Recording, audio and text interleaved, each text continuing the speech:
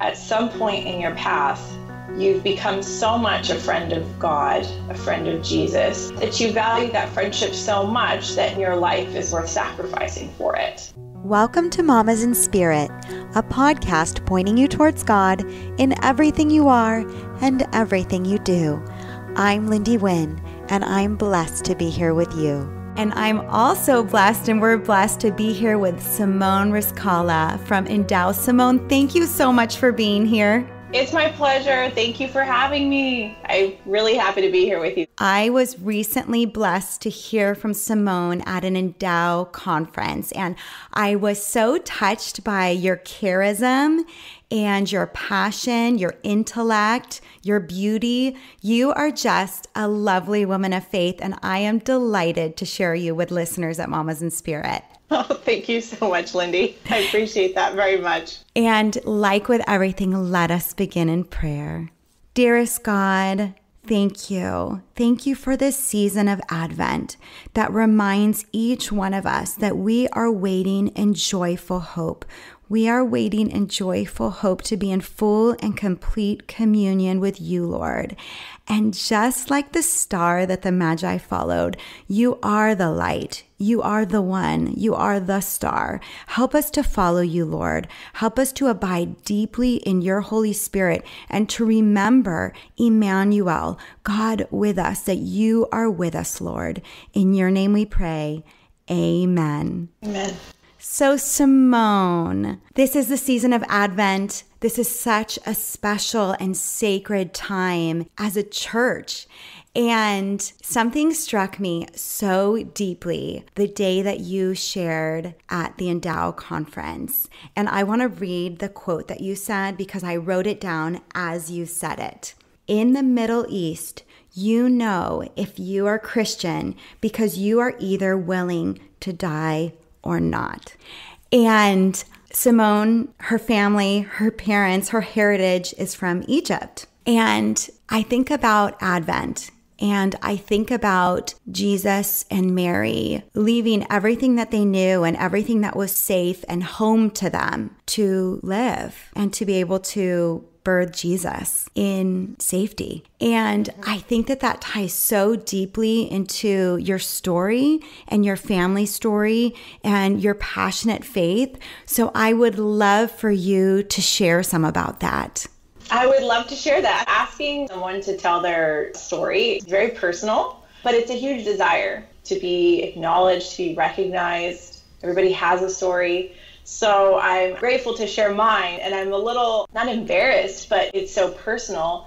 And I'm bringing in to that story a lot of people. It took a lot of people for me to be where I am today in the United States. And sometimes when I share my story or bits of it in different forums, my parents will say, Why do you have to mention that we're Middle Eastern? Because it's a very American thing to be able to be so evangelical with your faith because we enjoy so much freedom. So there's still in the psyche of my parents, be careful about sharing because that culture of being free, to being verbally free, to testify to Jesus is a distinctly free country, American, Western kind of thing. It's not an Eastern kind of thing.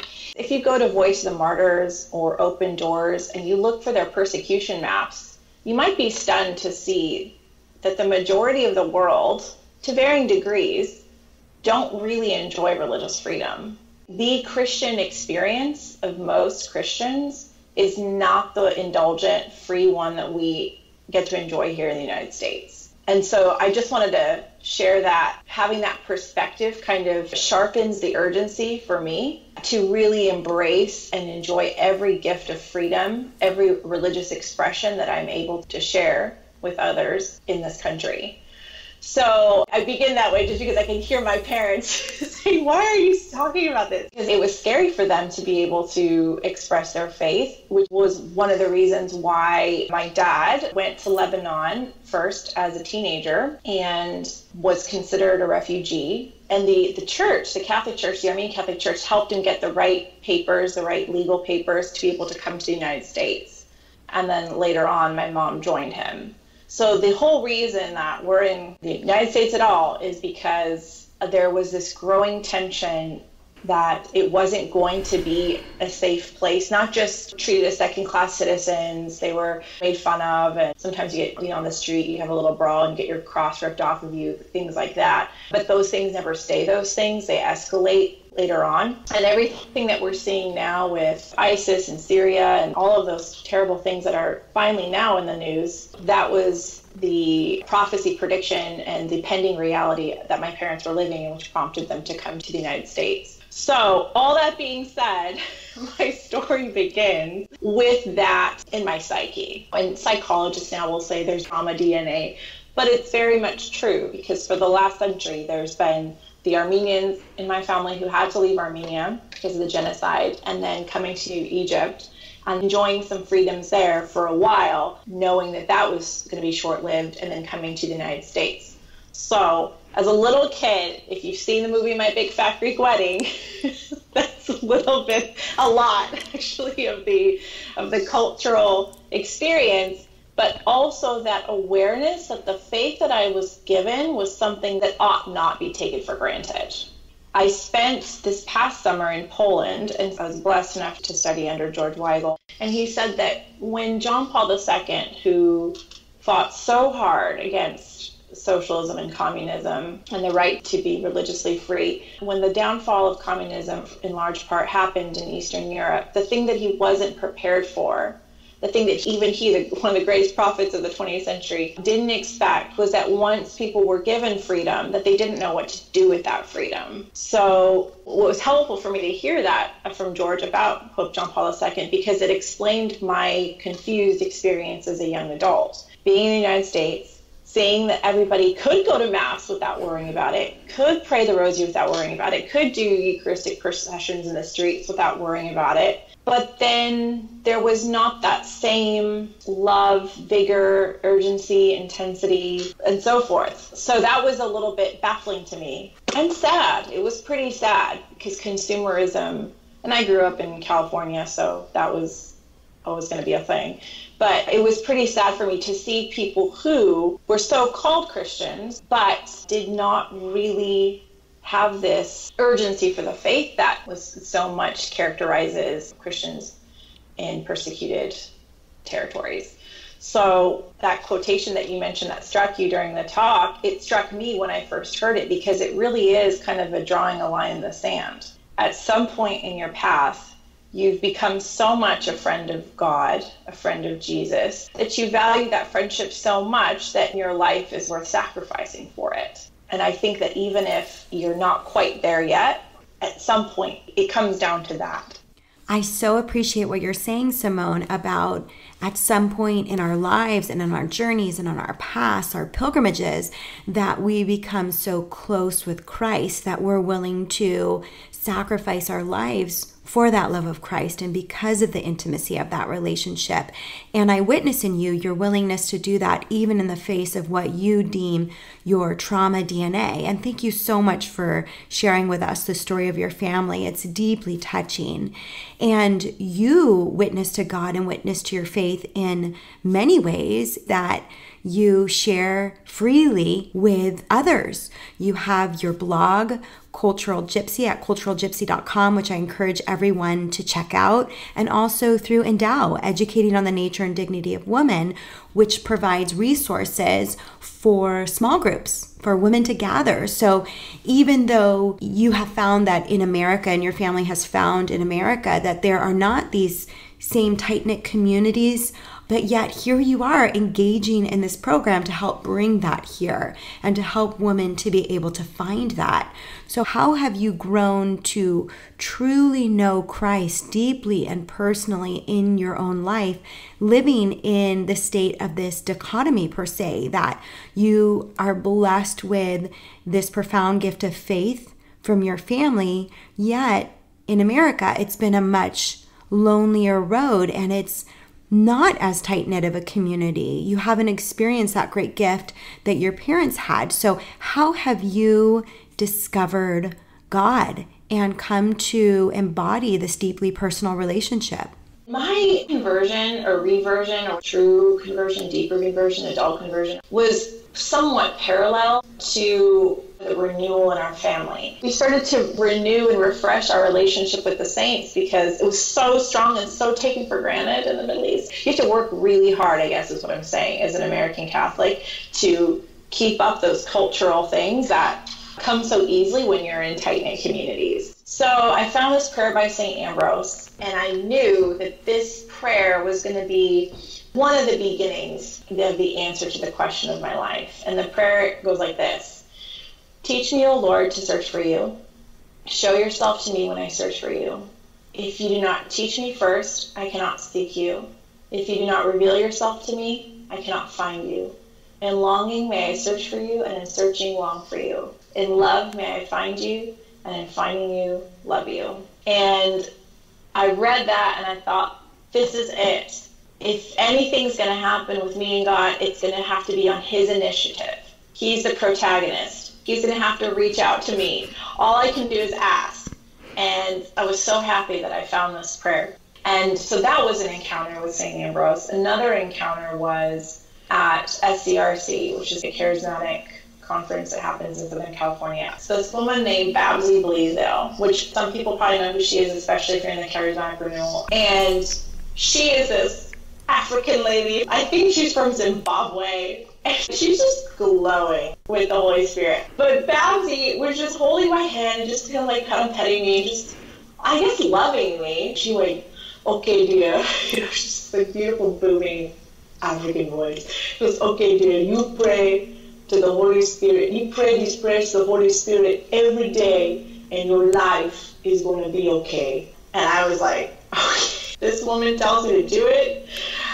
I'm going to do it. So she gave me three prayers to the Holy Spirit that I have prayed every single day.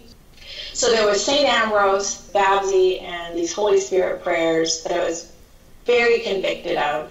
And another huge, huge thing happened was that I went to the Witherspoon Fellowship, which is now the John Jay Institute.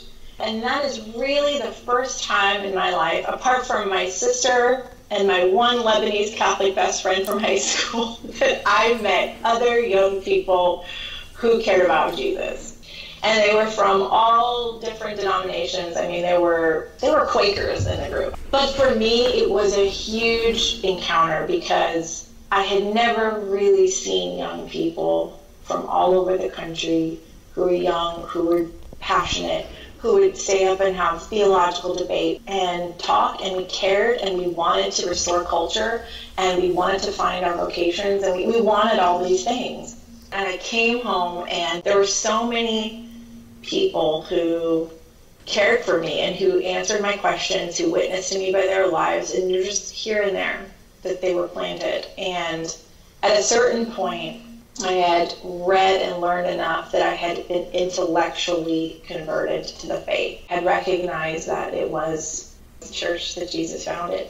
So, what was I going to do? Well, I prayed and said, Look, God, listen here, Lord you've got to send me people.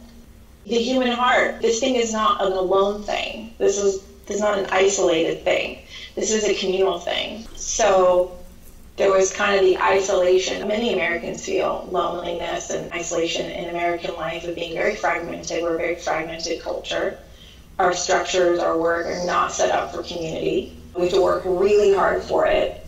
And at a certain point, we met Catholic Charismatic Renewal in Southern California who were happy, lovely families and people who knew the faith. That was something that I really I needed to see. I needed to see happy Christian families and people, authentic. And then I met Communion and Liberation, which is an ecclesial movement in the church that started in Italy and that is where I have really found my spiritual home in many ways. And where I would say that I was given not only the witness, but also the way to articulate it. At a certain point, I thought, well, what do these people want out of me? Do they want a membership card? What do they want? what do they want from me? But the answer is nothing. Nothing. Similar to God. And the way that they looked at me, their gaze upon my life, their love for my life, their unconditional love for my life, you don't really forget that. till this day, the thing that I return to is the gaze. I love how you talk about their gaze. That's such a beautiful sentiment. And it's so deeply intimate and personal, just like Christ's love for us, which they were witnessing to you. And it is a significant reminder to us that even though in certain places and locations, countries in life, that we may need to seek more intensely or be more intentional to be rooted in communities of faith that God is everywhere. God is always with us, Emmanuel. And what a beautiful reminder during this time of Advent. And I love your story, and I love how you start with your parents before you ever were and how their decisions and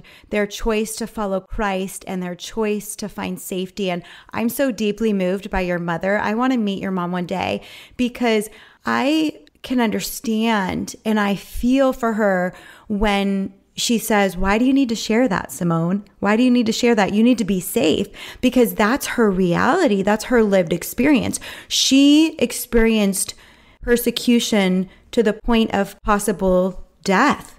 She had to make a choice, and your dad had to make a choice. That was a critical choice. And you've compared that to modern day America and to other countries and to the Middle East and this freedom that we often take for granted and this freedom to worship and this freedom to love God and to talk about God. And even in America, we get persecuted. And even in America, it doesn't always feel safe or comfortable. So when I think about your mom and as a mother and you being her daughter and that lived experience, it ties so deeply into Advent and Mary and Joseph and their journey and their journey to safety. And I appreciate that because, like you're saying, hearing stories like this are really helpful because while we can use our imaginations and God's blessed us with imagination and that can help to bring things to a deeper understanding, hearing someone else's story and their true lived experience, that can be a profound experience. So thank you to you for sharing that and thank you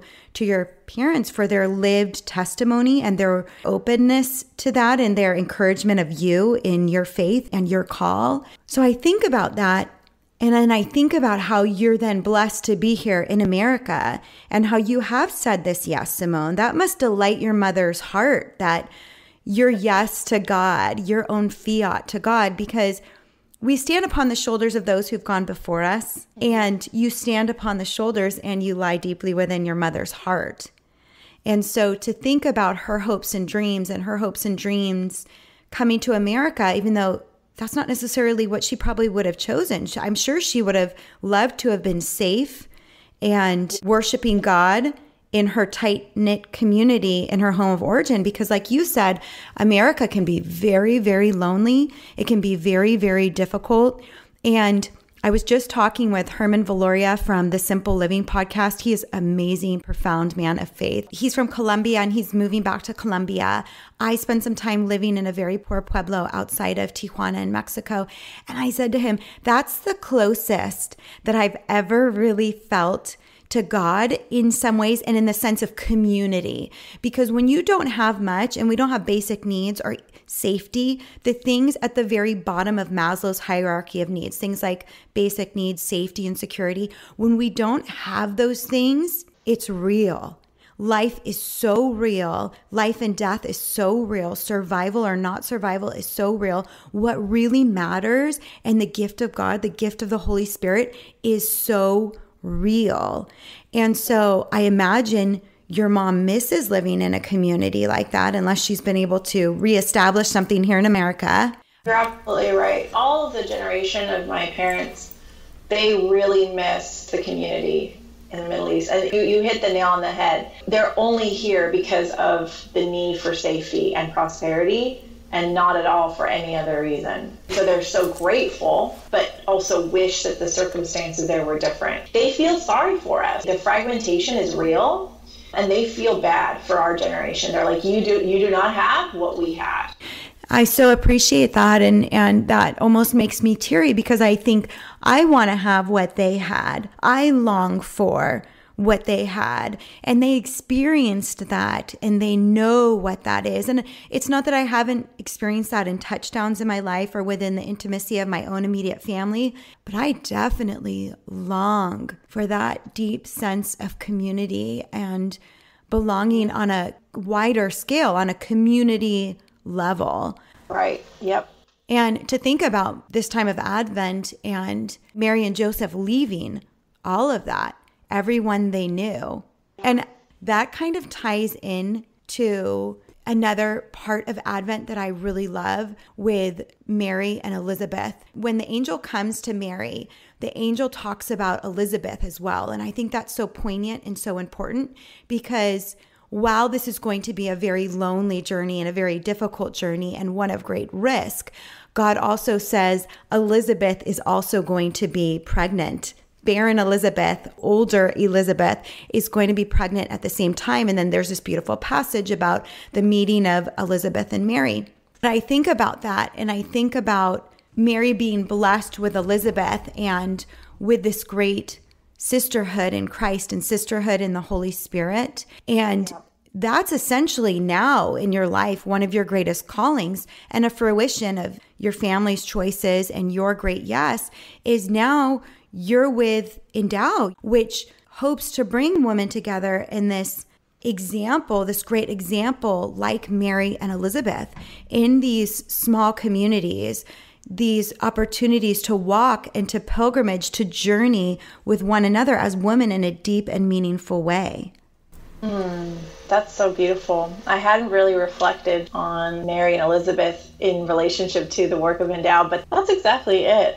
It's such a huge privilege working with Endow. It is stunning that the thing that we crave the most, which is to be connected to other human beings, and that we actually can't even understand ourselves outside of a relationship with another person. One of the most quoted lines of John Paul II is from Gaudium et Spes, where he says, Man finds himself only an authentic gift of self so I can't even begin to understand who I am. I actually am not who I am without you, without the other.